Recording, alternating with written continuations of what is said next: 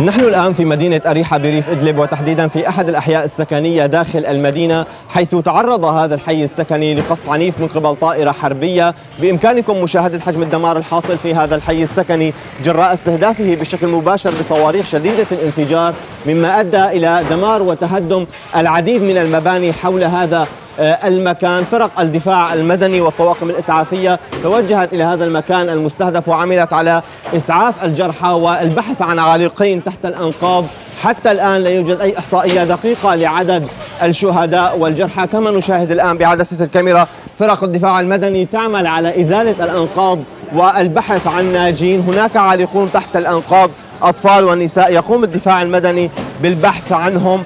آه، وأيضا الفرق الإسعافية متواجدة. لا إحصائية دقيقة إلى الآن ولكن الإحصائية الأولية تشير إلى سقوط ثلاثة شهداء من المدنيين وعدد من الإصابات غالبيتهم من النساء والأطفال ومن المرجح كثيرا أن ترتفع حصيلة الشهداء لأكثر من ذلك.